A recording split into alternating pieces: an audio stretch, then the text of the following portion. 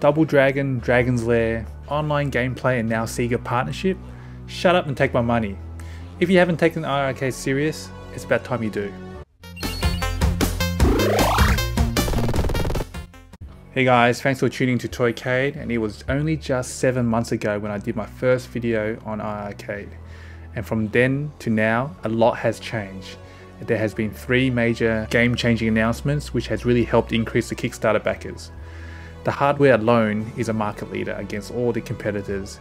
It is more future-proof and the system itself is expandable and upgradable via Wi-Fi, something we haven't seen in any Arcade1Up offering. Before we go any further, let me know in the comments below if you're a backer and why. I'm backer 19 and I was always going to back RK from the beginning despite its first prototype not very pleasing to the eye, but I actually liked their business model and they were very interactive with the community. The unit will come with 10 games preloaded, but the notable titles are really Double Dragon and Dragon's Lair. But if you back the Kickstarter now before the campaign ends, you will receive Bomb Squad preloaded as part of the pledge. Bomb Squad is the first online capable game offered by iiRcade and definitely won't be the last. Game prices have been confirmed to be between 3 to $15 with an average of $5 for most. This is on schedule to be shipped in late October and the Kickstarter is ending very soon. First huge announcement was the offering of the Dragon's Lair Premium Bundle Edition. The Premium Edition will be available for a special price of 549 which features Sanwa joysticks, upgraded memory from 64 to 128GB and custom Dragon Lair artwork for the full-size cabinet.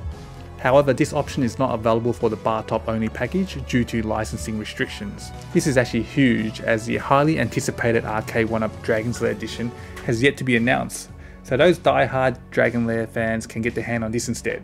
What took my attention on this announcement was the offering of the Sanwa joysticks, which I thought was kinda odd as Jong has always mentioned that the joystick in the basic unit has the same quality as a genuine Sanwa.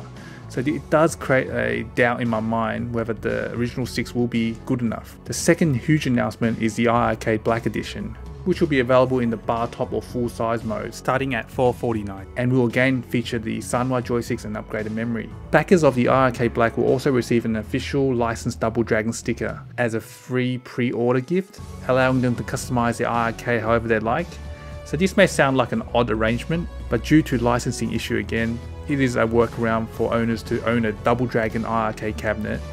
So essentially what you're buying is a blank black cab with upgraded parts and a Double Dragon skin where you need to apply on yourself. Now the third and final huge announcement is the partnership with Sega that will bring 7 titles to their system. The games are Shadow Dancer, Space Harrier, Cyber Police ESWAT, Congo Bongo, Alien Storm, Crackdown and Bonanza Bros.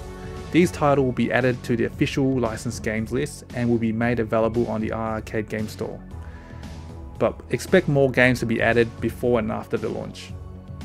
The partnership with Sega is a huge reassurance that there will be more publishers joining the bandwagon. Jong, the CEO of iiRcade, has been transparent from the beginning saying that the purpose of the Kickstarter campaign was to generate enough sales data to present to the publishers, by showing there is huge interest in this product, which means these publishers will bring their AAA titles to the platform. So it's a matter of time when we'll see Capcom, Microsoft and publishers alike join the iiRcade journey. The only dilemma with this Kickstarter campaign is the number of options and upgrades available. This is my first Kickstarter campaign I'm backing so I'm not sure this is normal, but the number of upgrades and variation made during the campaign can be confusing. So confusing that sometimes it's best to wait until the last announcement is made before deciding which upgrade to take. So if you did back the iiRcade, let me know in the comments below which tier did you select and why. Okay guys, that's all for this video. iiRcade is currently live on Kickstarter and pre-order is closing very soon. I highly recommend you check them out if you haven't. The discounted price on Kickstarter is hard to ignore. It seems good value and the product and company has huge potential. In my mind, Jong and iiRcade are making the right decisions in listening to community feedback and applying it where they can. So, will iiRcade give Arcade1Up Empire a run for its money? At this moment, no. They have a long way to go, but this gives them a solid foundation. But I dare say this product is a good alternative to AtGames Legends Ultimate. In the description below, I'll leave links to the Kickstarter campaign and also link to the official iiRcade page where Jong has live streams every Tuesdays and Fridays. Hope you enjoyed this video and if you do, hit that like button. And if you haven't subscribed, please consider subscribing to support the channel. As always, stay safe and thanks for watching and I'll see you on the next one. See ya.